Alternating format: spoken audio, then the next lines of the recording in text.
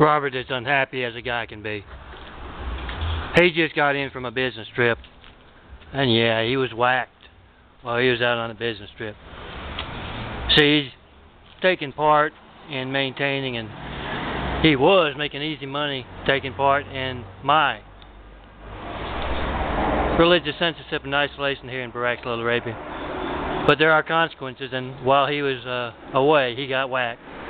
He doesn't know how to tell his wife. He doesn't know where to begin. He's sitting down in uh, his easy chair when Melissa walks in. She takes one look at him. She says, "Oh, you know, don't you?" Yeah, I had done. You know, I was unhappy with that thing. I was always bumping into it in the bedroom there. I just had enough, honey. I had the men take it away. And Robert is, oh man, he's shocked as hell. He goes, what, what, why?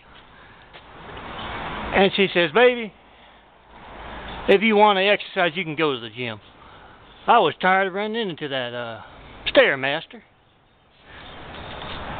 And uh, she looks at him and says, honey, What's wrong?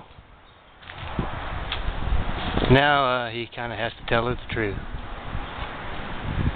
He uncrosses his legs. He crossed them once he started talking.